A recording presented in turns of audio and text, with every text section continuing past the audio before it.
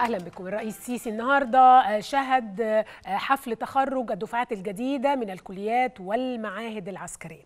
والحقيقة إنه كعادته يعني بيتكلم بيكلم الشباب بيكلم القادة لكن أساسا بيوجه كلامه للشباب.